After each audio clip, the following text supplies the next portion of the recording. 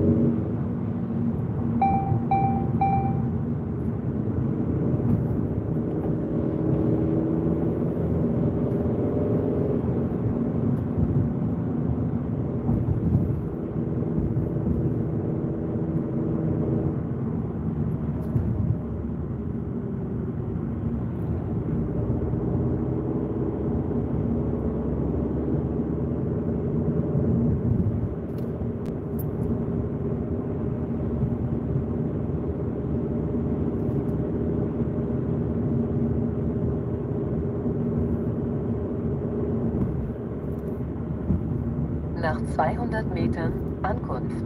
Ziel auf der rechten Seite.